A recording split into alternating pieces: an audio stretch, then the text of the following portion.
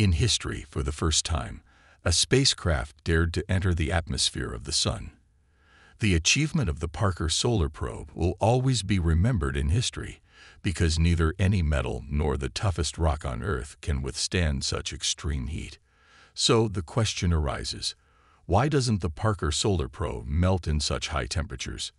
Not just thousands, but even in temperatures of millions of degrees, it functions perfectly. Once again, in the videos of the Universe Tour, during research on the Sun's surface in the early 1900s, scientists noticed a peculiar phenomenon. They were estimating the temperature of the Sun's surface by analyzing the wavelengths and colors of light emitted from it. This task was being performed using a spectroscope from Earth. It's important to note that the color and wavelength of light have a direct connection to its temperature. This discovery left scientists puzzled and led to a mystery that has yet to be fully understood. During this research, they found that the temperature of the Sun's surface, which is around 5,500 degrees Celsius, is remarkably lower compared to the temperature of its outermost atmospheric layer called the corona, which is astonishingly more than 5 million degrees Celsius. This phenomenon is similar to feeling hotter when moving away from a fire. This mystery remained hidden within the sun's light and could only be observed during a solar eclipse or using coronagraphic sunshades. After NASA's establishment in 1958, the era of space exploration began with various satellites and spacecraft being launched into space one after another. However, understanding this unique phenomenon of the sun required a probe that could venture into the sun's corona and study the processes taking place there. The probe had to withstand temperatures of millions of degrees Celsius and observe the solar wind escaping the sun. Designing and developing the Parker Solar Probe was a challenge in itself, but sending it to the sun posed an even greater challenge.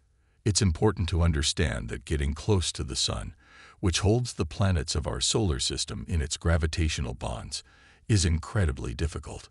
To bring a satellite back to Earth from its orbit, its speed needs to be reduced so that Earth's gravity can pull it back.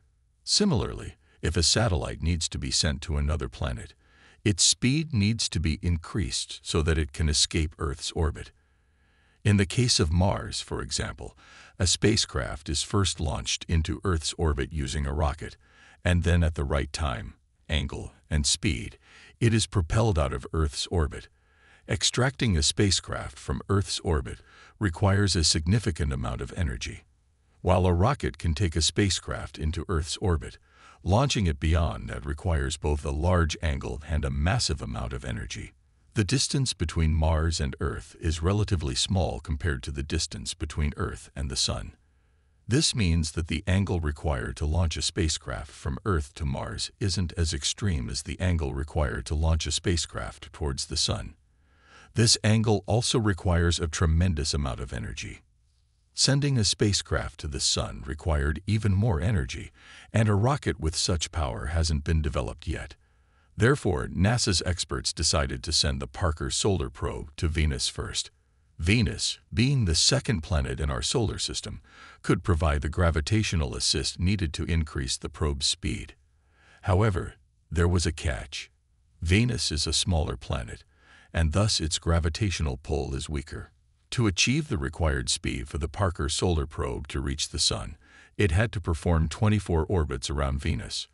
Only then will it be able to reach the closest point to the Sun. On August 12, 2018, the Parker Solar Probe was launched from Cape Canaveral Air Force Station. NASA has planned an eight-year timeline for this mission. To reach the closest point to the Sun, Venus's assistance will be taken 24 times. Each orbit lasts for 37 hours, providing an opportunity to research the Sun. In total, over eight years, this probe will conduct 900 hours of research on the Sun. On April 28, 2021, NASA confirmed that the Parker probe had successfully entered the Sun's corona layer in its eighth orbit. The mystery of the corona which has been hotter than the surface of the Sun for over a hundred times, has now been verified by the Parker probe. But why is this the case? What force is heating the mysterious corona layer more than the Sun's surface? Research is ongoing to understand this. Now let's turn to our main question. Why doesn't the Parker Solar Probe melt in such extreme heat? The side of the Parker probe facing the sun is equipped with a heat shield made from carbon foam. This is not normal foam. It's specially designed by the Ultramet company to absorb the sun's heat. This foam is 97% empty from the inside, making the heat shield even more effective. Additionally, a layer of carbon-carbon composite has been added, made from graphite and resin, enhancing the heat shield's properties. This mixed heat shield has been superheated on both sides, transforming the carbon into a pure form. As we know, carbon has excellent heat conductivity, and the side facing the sun is coated with white ceramic paint to reflect most of the sunlight before it enters. Besides the heat shield, the rest of the Parker solar probe is designed in a way that it's always in the shadow of this shield. Even after all these precautions, the Parker probe can withstand temperatures up to 2500 degrees Celsius. In contrast, the temperature of the corona is around 5 million degrees Celsius. Now, understanding how it can withstand such extreme heat is quite straightforward. According to the laws of thermodynamics, heat transfer requires a medium. Just like in summers, particles and vapors in the air carry heat, which is why we feel warmth even at night. If particles were fewer, heat wouldn't transfer as easily, just like how you can put your hand in a 300 degree oven for a moment without immediate discomfort. This is possible only because water molecules come into contact with us, whereas things in an oven don't.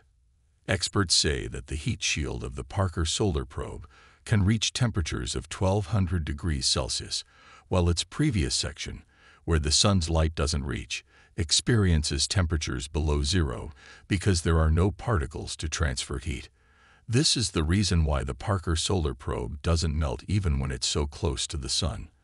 I hope you'll also like and share this universe tour video. Thank you for your love-filled comments. See you in the next amazing video.